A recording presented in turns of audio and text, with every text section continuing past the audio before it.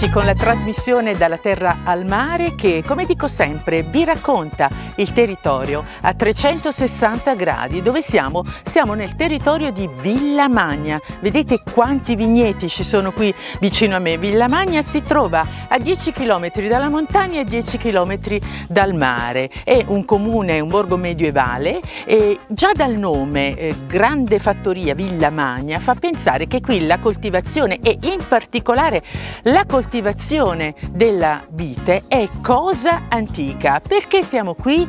Perché apriamo parlando di vino e parlando di una degustazione proprio dedicata al Villa Magna Doc.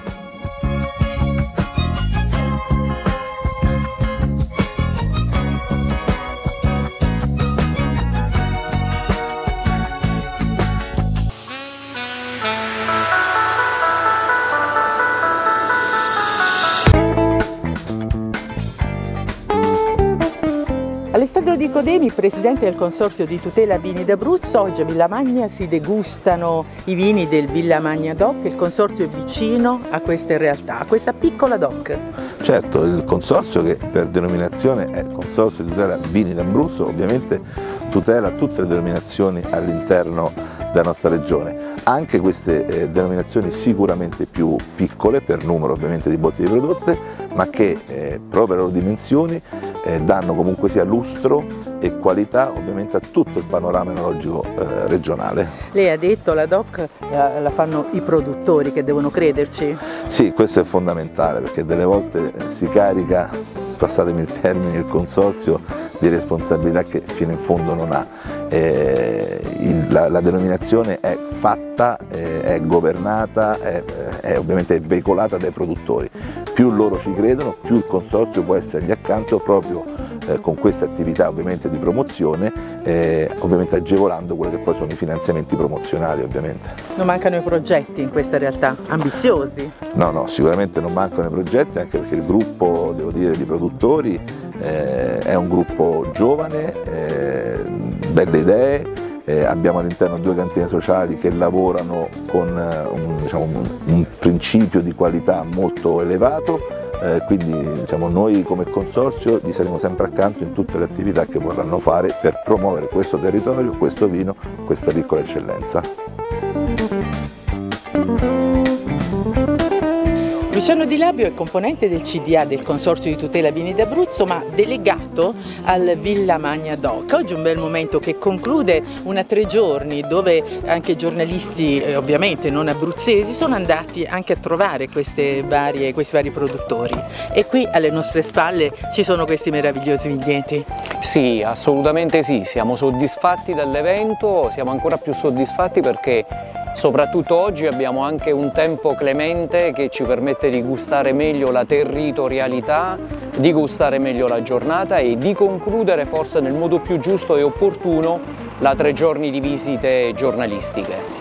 Credo che il territorio abbia avuto non solo le potenzialità eh, per esprimere le eccellenze eh, che vengono ormai prodotte e riconosciute da tanti anni, eh, ma sicuramente eh, sarei contento se già avessimo inculcato in loro un po' di curiosità e di volontà di volerci venire a trovare di nuovo qui in futuro. Oggi possiamo dire che la parola d'ordine è stata forza, secondo me, la forza dei produttori, la forza di un territorio e la forza di un vino che nonostante questo, eh, proprio questa intrinseca forza che ha riesce ad essere elegante, no? quindi anche lieve. Sì, è una caratteristica fondamentale del Montepulciano, del buon Montepulciano d'Abruzzo. Eh, qui parliamo di, un, di, una zona, di un territorio eh, vocato, riconosciuto negli anni e di un territorio che ha deciso di mettersi in gioco andando a ricercare quelle che sono le peculiarità di alcuni areali ben precisi.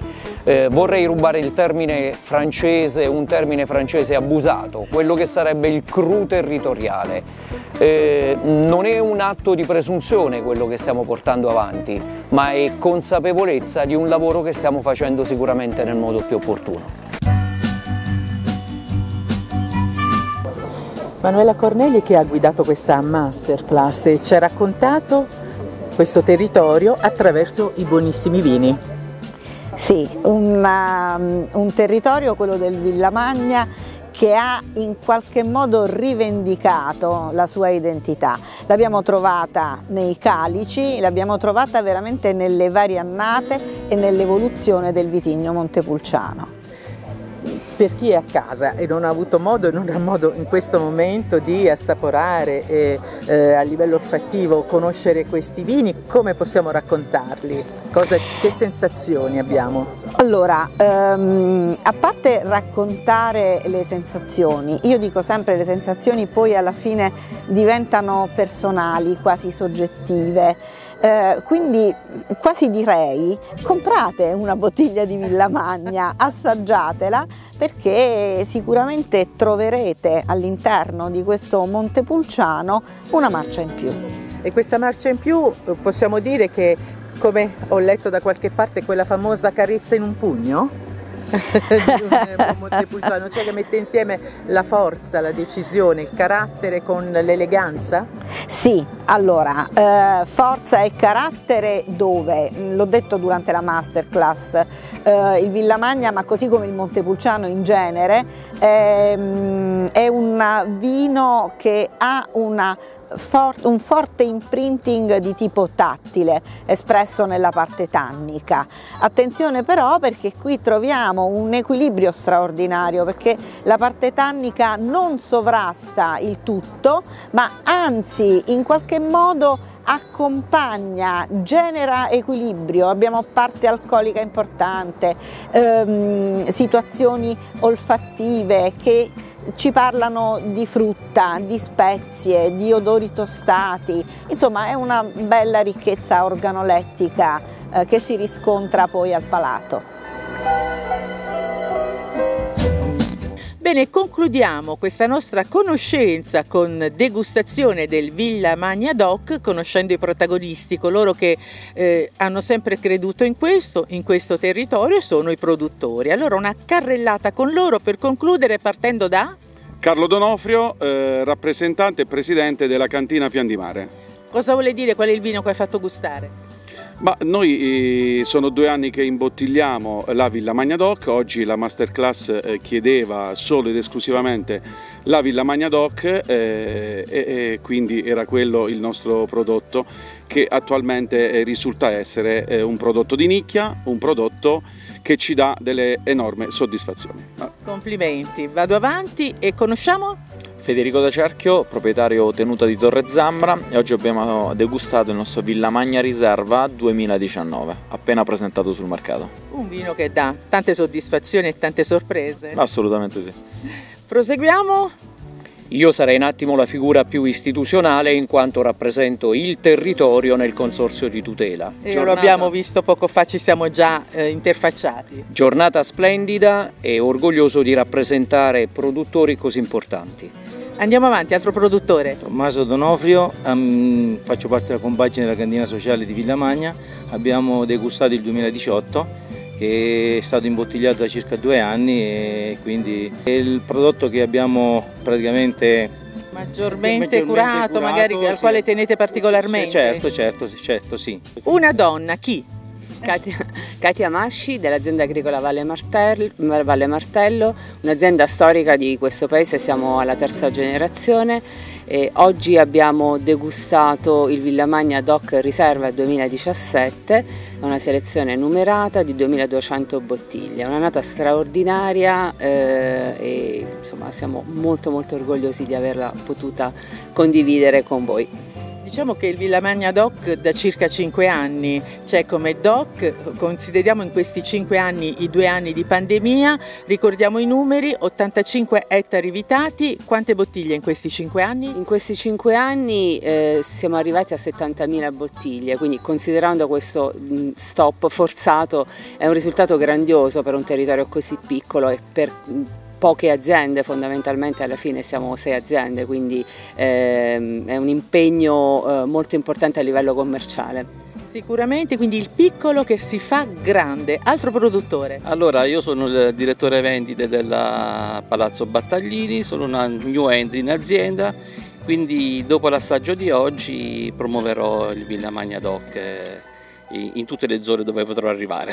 E sicuramente, sicuramente arriverà molto oltre il Villa Magna Doc perché erano presenti palati non abruzzesi e quindi questi assaggi sicuramente racconteranno bene vino e il territorio. E lei è? Alessio Donofrio, rappresento Cascina del Colle, anche io la famiglia Donofrio, siamo la terza generazione come detto anche dai miei colleghi, che una delle cose che ci accomuna, dove proveniamo da famiglie eh, appunto da generazioni di, di produttori e oggi nel caso nostro abbiamo degustato la Villa Magna Riserva, nata 2018 e anche essa una, un'annata importante che ha dato soddisfazione a tutte, a tutte, le produzioni anche di Villa Magna Doc stesso.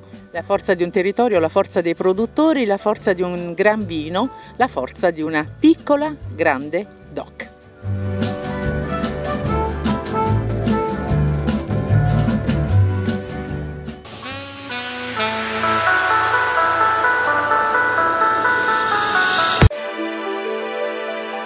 Sempre qui da Villamagna tra i vigneti beh, abbiamo assaggiato gli ottimi vini e abbiamo anche ascoltato quali sono i bellissimi progetti. Ora però torniamo al Vinitali, ci siamo stati, ve lo abbiamo raccontato, ma ci torniamo perché durante il Vinitali è stata fatta la proposta di far diventare la cucina italiana patrimonio immateriale dell'UNESCO. E beh, è stato un bellissimo momento. Torniamo al Vinitali.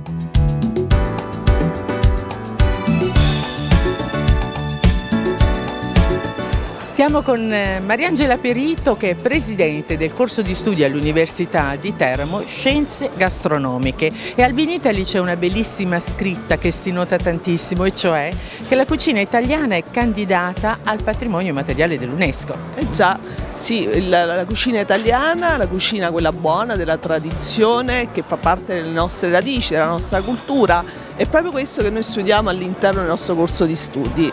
Noi abbiamo un corso triennale e studiamo proprio le radici, le radici della nostra cucina eh, del Made in Italy, quindi da nord a sud con tutti i prodotti, con tutti i prodotti che fanno parte del nostro patrimonio, della nostra storia.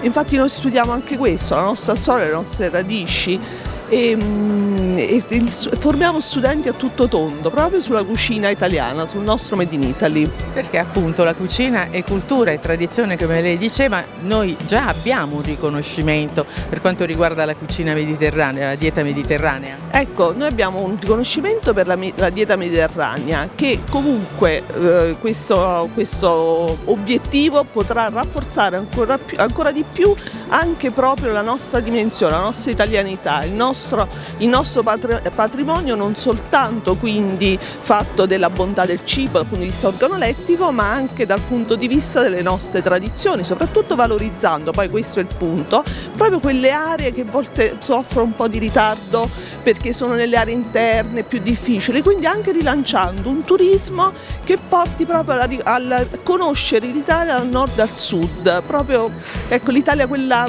vera, quella bella che spesso non è battuto dal, da percorsi turistici, quindi noi vogliamo sviluppare proprio la nostra italianità.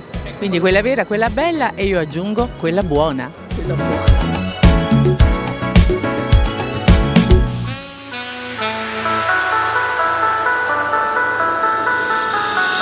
Dalla terra al mare, ogni settimana vi raccontiamo l'Abruzzo ed il Molise, vi raccontiamo l'agricoltura, la sostenibilità, vi raccontiamo il turismo, la cultura di questi territori. Ma a proposito di cultura, che ne dite di venire con me al Castello di Crecchio a visitare un interessantissimo museo?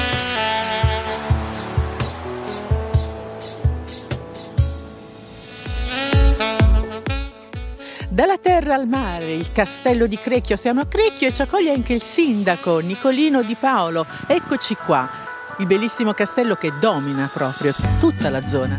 Buon pomeriggio e benvenuti a Crecchio. Adesso ci troviamo ai piedi del castello e ai piedi del nostro borgo medievale. È da poco, che, circa un anno, che facciamo parte del club dei borghi più belli d'Italia.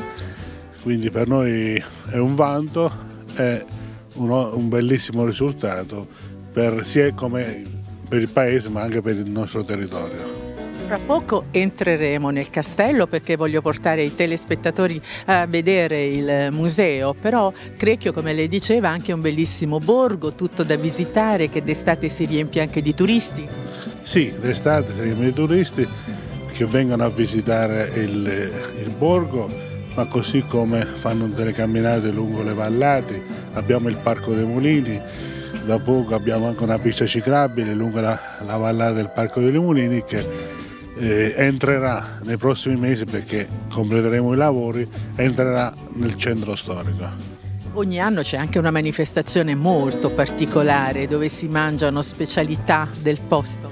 Sì, la manifestazione a cena con i bizantini è una rivocazione storica proprio al tema con il museo bizantino. Eh, il paese si veste a festa, ma possiamo dire si veste con costumi e usanze dei tempi. I piatti sono rigorosamente preparati su base di ricette bizantine e poi lungo le vie del paese vediamo rivegazioni storiche popolane, così vediamo cortei lungo le strade, è una manifestazione diversa.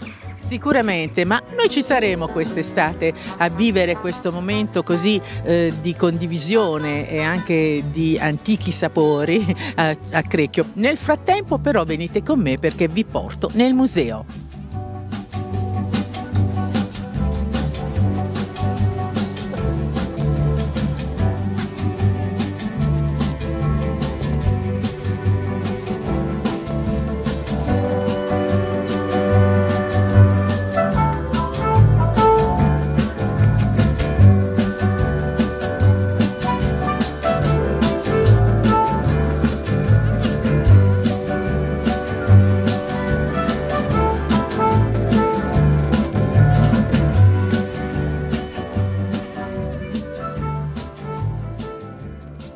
Ed eccoci qui nel Museo Bizantino, Abruzzo Bizantino ed Alto Medievale. Siamo con Giuseppe Valentini, presidente dell'Archeoclub di eh, Crecchio. Intanto questo museo come si compone?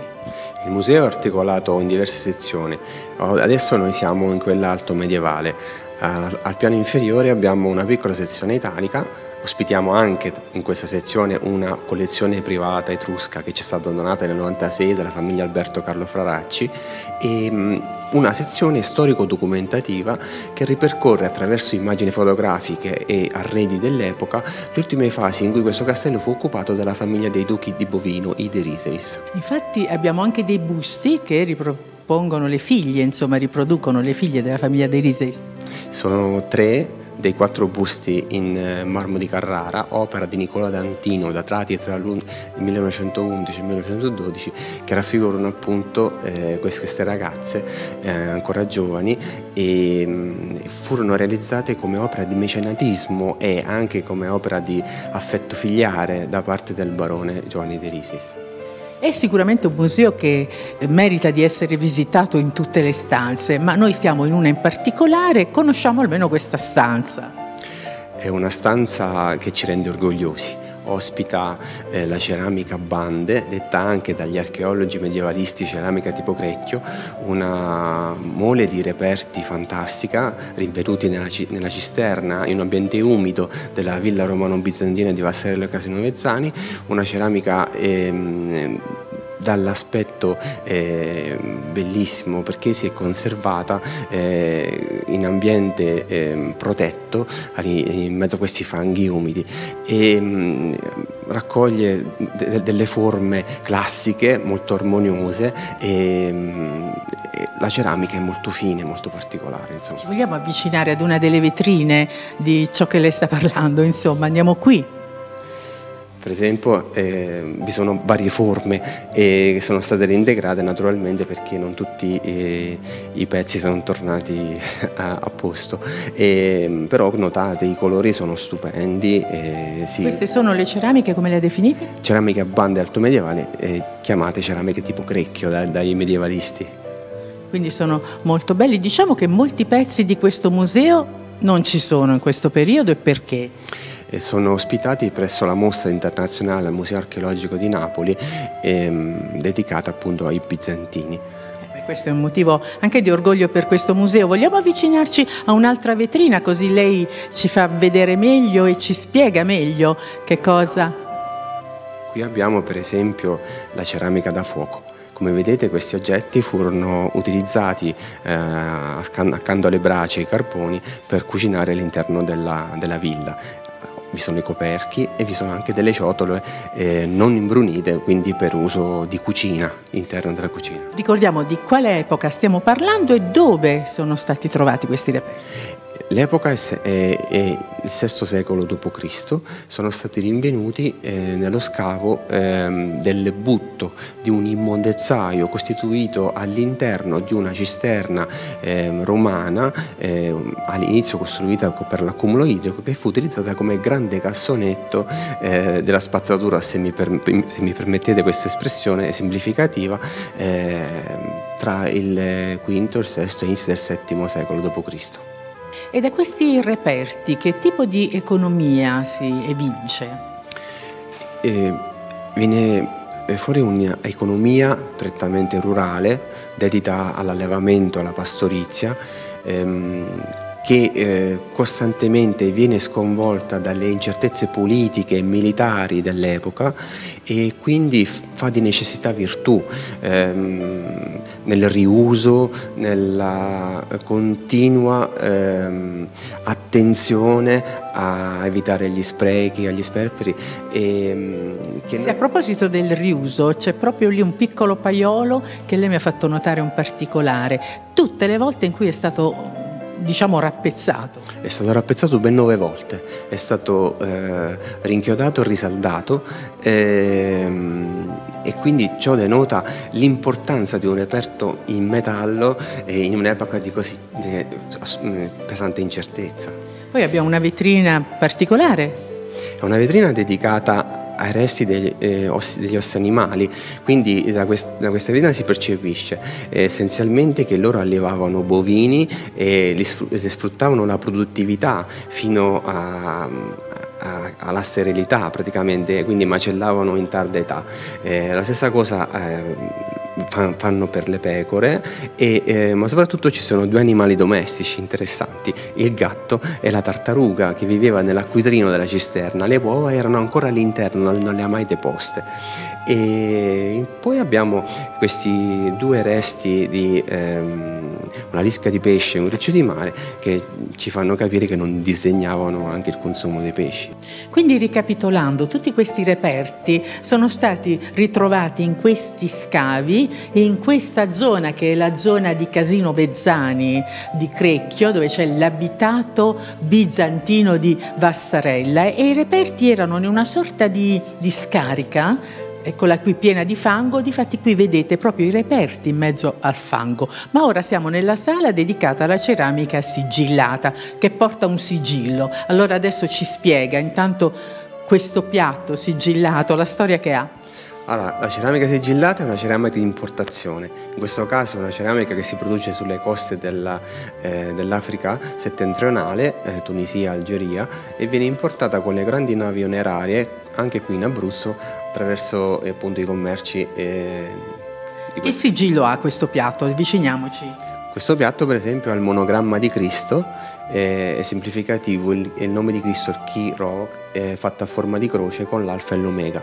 Ma importantissime sono queste lampade, vogliamo chiamarle così? Sono lucerne, eh, sempre in ceramica sigillata, eh, che hanno delle eh, decorazioni tipicamente paleocristiane e altomedievali, tipo il monogramma di Cristo, che il Chirò, poi abbiamo la colonna con sopra il gallo che ci ricorda il, il tradimento di Pietro quando negò di essere eh, seguace di, eh, di Cristo. Perché sono importanti? Sono importanti perché ehm, sono eh, datanti, sono un elemento datante di questo, di questo scavo, di questa produzione ceramica, gli archeologi conoscono tutto. Eh, luoghi di provenienza, datazioni e accostati ad altri oggetti che magari meno noti riescono a eh, datarne eh, l'epoca. Ma andiamo all'ultima vetrina che ci piace tantissimo, venga qui, perché è importante questa vetrina? È importante perché queste eh, lucerne sono prodotte qui in Abruzzo da matrici stanche, da matrici un po' invecchiate, però con argilla locale che è color paglierino, non è ricca di ferro, quindi quando si cuoce resta di questo colore giallino, mentre la ceramica eh, sigillata ha questo bel colore e non solo, ha delle matrici eh, eccezionali, ha una manodopera eccezionale. Insomma. E qui stiamo facendo dei salti nel tempo incredibili. Qui siamo nella sala dei reperti in legno. Provenienti sempre dallo scavo della villa rustica di Passarella di Casino Vezzani. Eh, siamo di fronte a uno dei reperti più eccezionali di questo museo. Si tratta dello schienale di una cattedra lignea finemente intarsiata con decorazioni tipicamente copte eh, che si data sempre tra il VI e inizio del VII secolo d.C. E non possiamo non parlare di vino, c'è una vetrina che ci racconta tanto e che dimostra eh, come la tradizione di produrre vino sia proprio affonda le sue radici in epoca passata in questa zona. Sono delle reperti eccezionali, sempre organici, conservati in questo scavo, in questa cisterna. Abbiamo il, ehm, la precipitazione avvenuta all'interno delle, delle anfore vinarie, di tutta quella parte, di quel particolato solido, aromatico che serviva a rendere più gradevole il vino, tra cui miele, spezie. E, ehm, e che si è addensato, stratificato nelle parti basse dell'anfora e delle anfore che poi sono state buttate all'interno dell'immondezzaio e sono arrivate fino a noi. Pensate, nella parte bassa di questa vetrina ci sono anche i semidua del VI secolo d.C. e sono reperti veramente fantastici. Siamo nella sezione italica e questo è un calco importantissimo di cui mi parlava poco fa, un calco che rappresenta cosa? Rappresenta ehm, l'epigrafe di Crecchio, una iscrizione in lingua norzabellica, il cui originale è ospitato nella sezione epigrafica del Museo Archeologico Nazionale di Napoli. E fu rinvenuta a Crecchio, in località Santa Maria Cardetola, nel 1846. In questa visita noi abbiamo fatto un viaggio nel tempo, eh, ci siamo spostati da una sala all'altra, ma la ricerca continua, gli scavi continuano. Eh, la nostra collaborazione eh, eh, con il Ministero dei Beni Culturali, eh, con la Sovrintendenza Archeologia, Belle Arti e Paesaggio dell'Abruzzo eh, ci gratifica molto. Oh, eh, siamo, sono in corso degli scavi in, quest, in un'ecropoli italica e a breve avremo delle sorprese molto interessanti.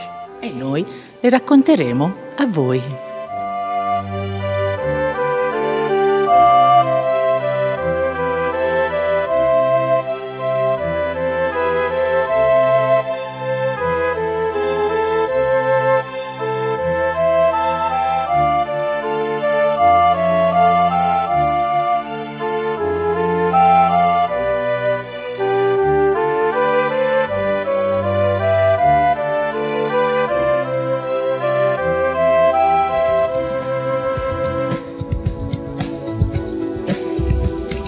Storia in questo castello e a questo castello sono legati anche episodi che si ricordano molto bene. Sindaco, in questo castello soggiornarono anche sovrani. Sì, nel settembre del 43 eh, un pomeriggio proprio quest'ora arrivò la famiglia reale, Re Vittorio Emanuele III, Badoglio e qui si dice che eh, la contessa di Riseisi cercò eh, di convincere Vittorio, Re Vittorio Emanuele a non abbandonare l'Italia e a rimanere qui in Italia. Però poi all'indomani partì con direzione verso Pescara. Poi non poté partire da Pescara perché non trovò un aereo all'aeroporto di Pescara, ritornò qui e la notte partì dal porto di Ortona. Insomma, un'altra pagina di storia che rende ancora più eh, famoso questo bellissimo castello che proprio dai Derises fu trasformato eh, da struttura per la difesa proprio ad una residenza, se non sbaglio, è così. Esatto, la residenza di Resesi che nei periodi estivi venivano qui a soggiornare. Grazie Sindaco, bellissima la eh, sua città. Ed eccoci qui alla conclusione della trasmissione Dalla terra al mare, un viaggio nel territorio a 360 gradi, in questo bellissimo territorio dove si vede una montagna ancora innevata e dove i trabocchi aspettano quel momento fondamentale per loro di visibilità che è la partenza del Giro d'Italia che partirà proprio dalla costa dei Trabocchi. Dalla terra al mare vi aspetto ogni sabato sera alle 20.30 su Rete 8, come sempre concludo dicendovi grazie per averci seguito, grazie da me Gioia e da Alex che segue tutta la parte tecnica. Alla prossima!